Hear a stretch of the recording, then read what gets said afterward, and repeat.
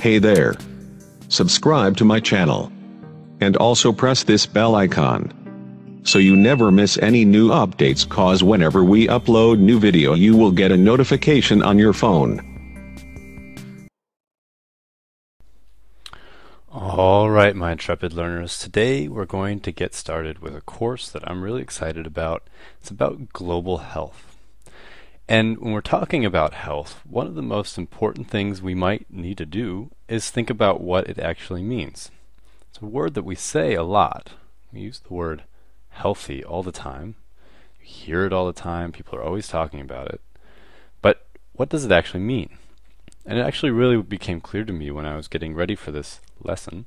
I was sitting and talking to my roommates about it, who are both studying medicine, and I told them what I was doing, and they're like, well, that's actually pretty hard, isn't it?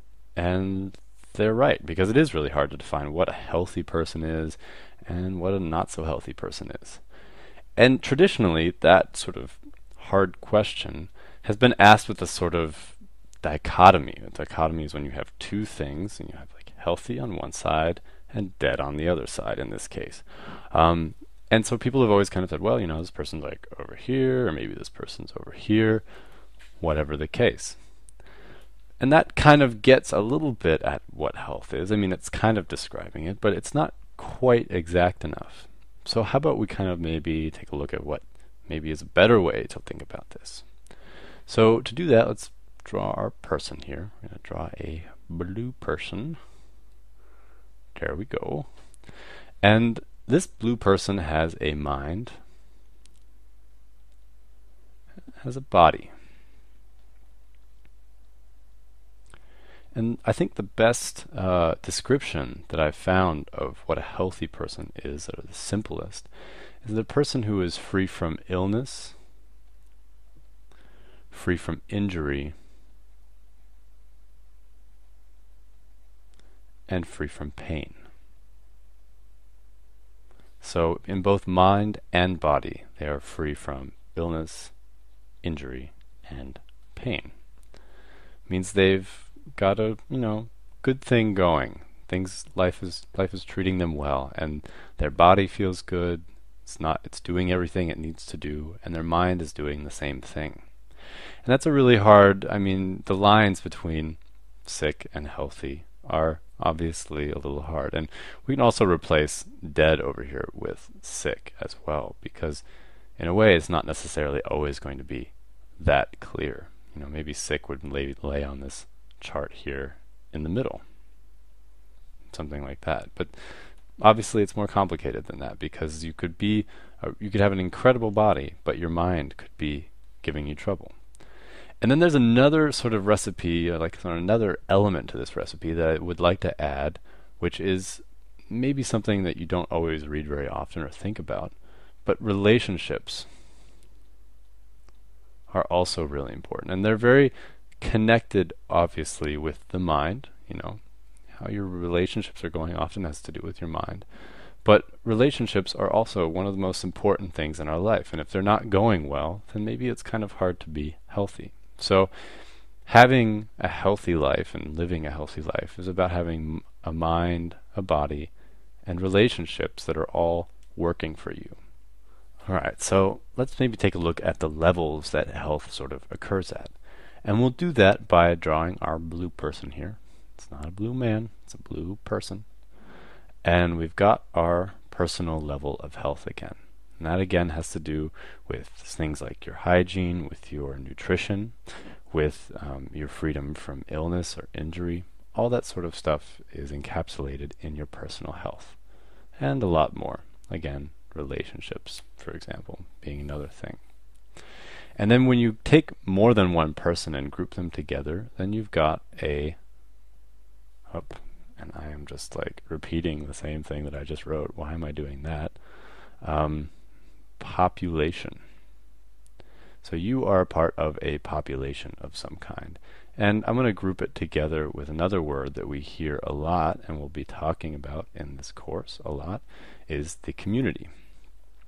And a lot of times this population and community level is sort of used as a way of comparing um, different groups of people. It's kind of something that researchers use a lot and people who are doing action in communities use a lot. And so you have a group of people, you know, let's say we have the blue people over here, and we've got the green people over here. Um, maybe researchers are taking a look at a certain group of people and trying to say which one is healthier than the other one. Maybe maybe the green people are healthier in this case, and then trying to figure out well why. What's what's the reason for that? It's kind of important. So that's the population level, and that's just groups of individuals. And then you've got the public level, and let me find a cool color for public.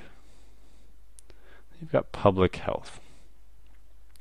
And public health is sort of an extension, or it's just a broader term that basically means the same thing as the layer below it in a way, except that it has a lot more to do with things like policy, which we'll probably be not talking about too much in this course, but it definitely has more to do with policy and action. And it's with even bigger groups of people. So we're taking we're talking like really, really, really big numbers of red people and whatever this color is teal people and blue people, lots and lots and lots of them, and often even sort of putting them in groups themselves. And oh, well, we're kind of using a clashing color here. I need to find a better color. So even putting these people in groups and comparing them to even other groups.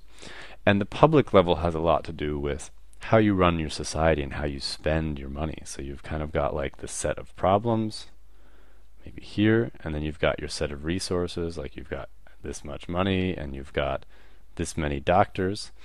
And public policy is often trying to figure out how do we spend money on this and on this so that maybe we can, you know, solve a problem and put doctors working on this and researchers working on that. And how can we organize our entire society to fix these problems and kind of like, you know, get rid of them as best as we can. So that is kind of what public policy about, is about. And then global health, which we're talking about in this course. Really important to understand what global health means.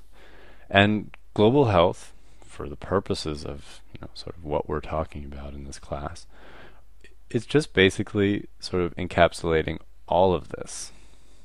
And it's looking at each one of these levels in different places around the world and trying to understand the problems and the solutions that work best.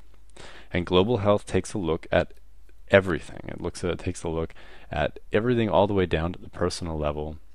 Also looks at community and public health.